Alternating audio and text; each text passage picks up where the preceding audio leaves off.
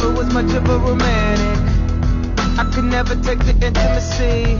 I think something people forget is that two things can be true at once. Kanye and Kim were also PR. Were they married? Yes. Was it a real relationship? Yes. Did it benefit both of them in regards to their image? Yes. I think what people forget is that the way these people think about their careers is also sexy to them. Do you understand? Like the idea of being seen in a certain way because she's with Pete can be part of the attraction to him.